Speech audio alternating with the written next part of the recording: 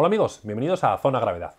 Hoy vamos a hablar sobre otro sistema de reparto de frenada, pero que no es un reparto de frenada mecánico. Sería un reparto de frenada mmm, ejecutado por el piloto.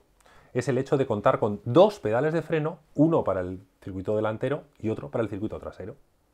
Como siempre, volvemos a las bicicletas. Cuando tú vas bajando con tu bicicleta de carretera por la carretera, en la mano izquierda llevas el freno eh, delantero y en la mano derecha el freno trasero. Cuando llegas a una horquilla en un puerto de montaña, frenas muy fuerte con los dos frenos y a medida que vas decelerando, que vas frenando, vas notando que la rueda trasera empieza a perder agarre. Tienes que aflojar la presión del freno trasero mientras que mantienes la presión del freno delantero. De esta manera, hasta que llegas al ápice de la curva, suelta los dos frenos y sigues. Si te das cuenta, estás realizando un reparto de frenada que no es 70-30 ni 60-40, es variable. Tú al inicio empiezas 50-50 y tú mismo vas aflojando el freno trasero, apretando el freno delantero y vas cambiando del 50-50, no sé, al 70-30. Y tú mismo vas calculando la necesidad de frenada en cada momento y la vas ajustando.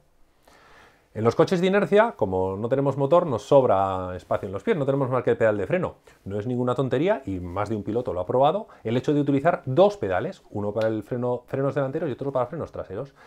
Tiene la ventaja teórica de que lograrías mejorar tus frenadas porque repartirías siempre la, la intensidad de frenada óptima entre los dos ejes. Y además tiene otra ventaja que es que podrías corregir el carácter sobrevirador o subvirador de la carrilana en mitad de una curva. Ya vimos en los capítulos de pilotaje, sabéis que hay unos videotutoriales, treinta y tantos capítulos sobre pilotaje de coches de inercia, os recomiendo que le echéis un vistazo. Hay varios capítulos que hablan de esto, del sobreviraje y del subviraje y cómo influye la frenada en ellos. Cuando tú tomas una curva frenando, si se te, entre comillas, se te va el culo, estás sobrevirando, lo que necesitas es aumentar la frenada en el eje delantero, disminuir la frenada en el eje trasero. Introducirás subviraje y corregirás este sobreviraje.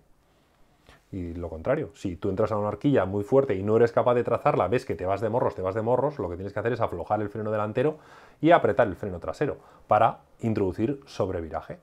Esto instintivamente lo hacemos con la bicicleta. Si vas con la bici de montaña bajando por una pista y no entras y frenas mucho con el freno trasero, derrapa la rueda trasera y colocas la bicicleta.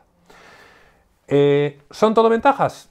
Hombre, todo ventajas no. Primero aumentamos un poquito la, la complejidad técnica Segundo, aumentamos un poco la complejidad de, pilotaje. Ahora ya tienes que estar pendiente no solamente de un pedal de freno, sino de dos. Tienes que entrenarlo, tienes que entrenarlo con cierto tiempo y acostumbrarte a que en cualquier momento tienes que estar realizando tú este reparto de frenada óptimo, óptimo de una manera prácticamente inconsciente. No puedes andar pensando en cada momento cómo vas a frenar.